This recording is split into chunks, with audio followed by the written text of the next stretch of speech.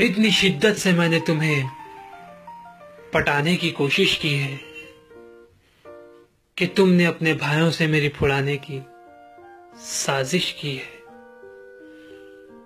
कहते हैं, अगर कोई बच्ची को सच्चे दिल से पटाओ तो पूरी बस्ती तुम्हारी मकबरी करने में लग जाती है। आज आप सबने मेरी फुटने से बचा लिया।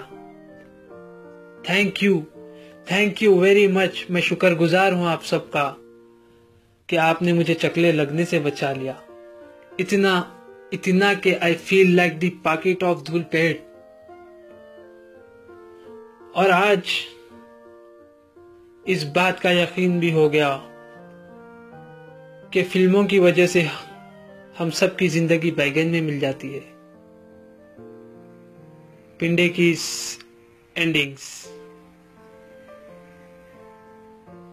और अगर और अगर बैगन में ना मिले तो वो दी एंड नहीं है। पिक्चर अभी बाकी है।